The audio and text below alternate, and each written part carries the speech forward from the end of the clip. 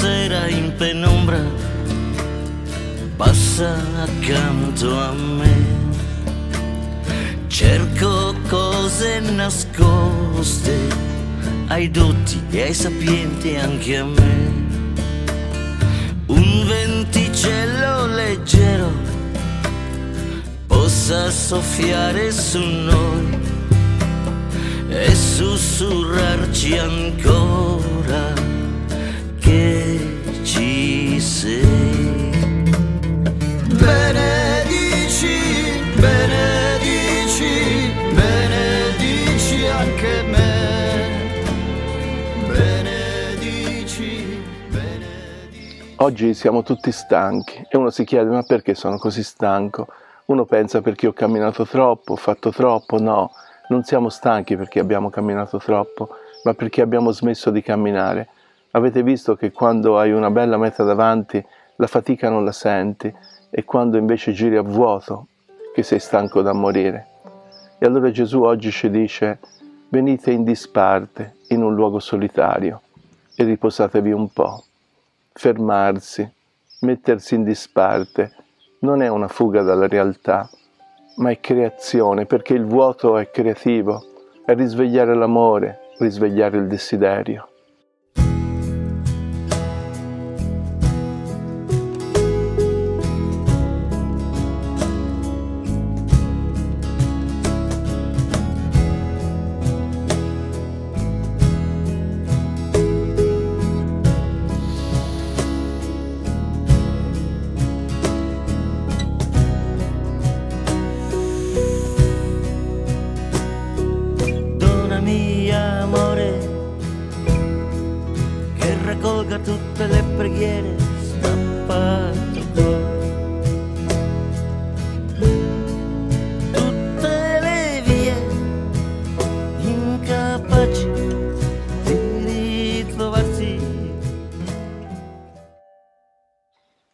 Chiusi alla catena del movimento, alla macina delle troppe cose, dove non riposano le creature e dove ciò che conta non ha quasi volto.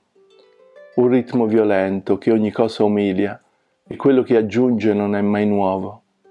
Vorrei il tempo presente, gli uomini presenti, la vita presente, per vedere la tenerezza nascosta che placa la sete di ogni animo. In quel tempo gli apostoli si riunirono attorno a Gesù e gli riferirono tutto quello che aveva fatto e quello che avevano insegnato ed egli disse loro, venite in disparte voi soli in un luogo deserto e riposatevi un po'. Erano infatti molti quelli che andavano e venivano e non avevano neanche il tempo di mangiare. Allora andarono con la barca verso un luogo deserto, in disparte. Molti però li videro partire e capirono e da tutte le città accorsero là a piedi e li precedettero. Sceso dalla barca egli vide una grande folla, ebbe compassione di loro, perché erano come pecore che non hanno pastore, e si mise a insegnare loro molte cose.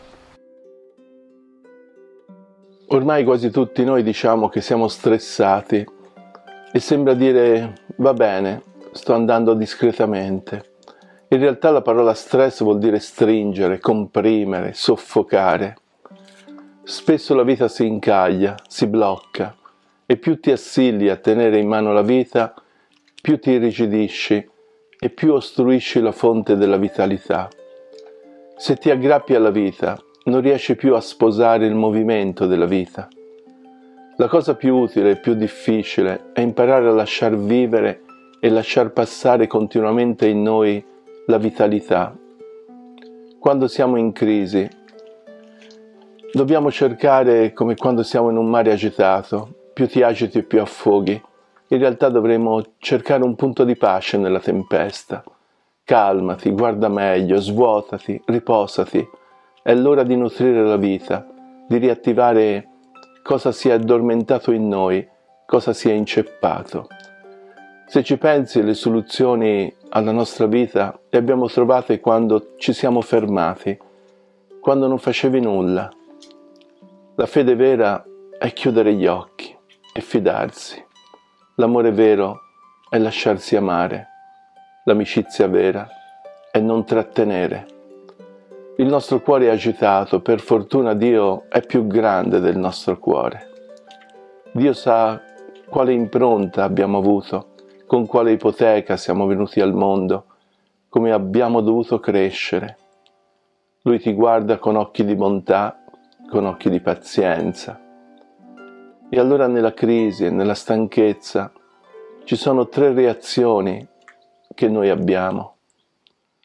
O lo sfogo, gridare, esprimere ciò che è represso in noi, o la rimozione, ingoiare, o sedersi in mezzo al disastro e diventare testimoni di qualcosa di nuovo. Osservare il passato e il feroce presente, viverlo tutto e capire cosa fare perché sia differente. Ogni esistenza umana nasconde qualcosa di segreto, qualcosa che deve essere preservato. Tutte le passioni sofferte silenziosamente, tutto ciò che è prezioso e degno di amore, le intuizioni che a volte ci illuminano, ci fanno capire che l'esistenza umana è molto più profonda, molto più misteriosa di quanto si pensi.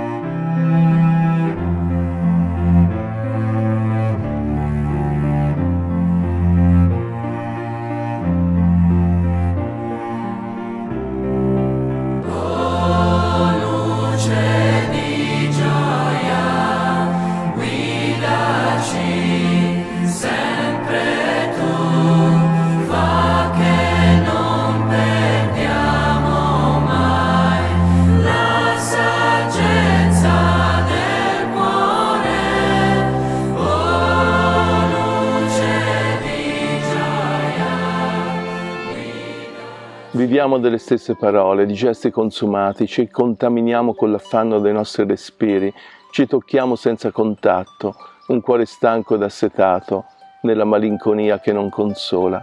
I nostri padri costruivano le case con la pietra, che era la pietra delle rovine, con una speranza che non voleva mai disperare di nessuno. E quando le parole si annodavano, il bacio era il varco. Vorrei che un volto, un gesto torni un giorno a visitarci, tornare a quel sacro momento quando la vita ogni giorno ci rendeva di nuovo vivi. Il Vangelo oggi dice che Gesù si commosse per loro. Li aveva mandati due a due tornano da quel viaggio con negli occhi tanta bellezza, ma sono molto stanchi. Ed è molto bella la compassione di Gesù. La compassione è compatire, patire con gli altri, sentire con gli altri e la compassione nasce da un vedere, vuol dire che io ti vedo e se qualcuno ti guarda ti senti vivo. Possa la via crescere con voi, il vento essere alle vostre spalle, il sole scaldare il vostro viso e possa Dio tenervi nel palmo della sua mano. Prendetevi tempo per amare, perché questo è il privilegio che Dio vi dà. Prendetevi tempo per essere amabili, perché questo è il cammino della gioia. Prendetevi tempo per ridere, perché il sorriso è la musica dell'anima.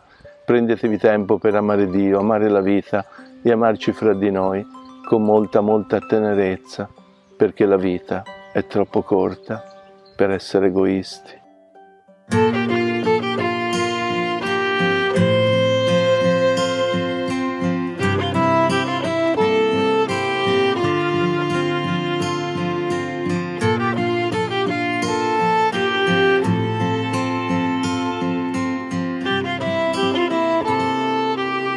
Baci chi se ne va, chi parte e chi arriva, chi piange e chi si dispera, chi sogna e si innamora, come baci campi nei gelati mattini, come baci campi nei gelati mattini. Bacia il mio grido all'aurora, chiedo in prestito le sue ali per volare e trovare riposo. Il tuo bacio mi metta le ali, bacia il mio grido all'aurora, chiedo in prestito le sue ali, per volare e trovare riposo. Il tuo bacio mi metta le ali.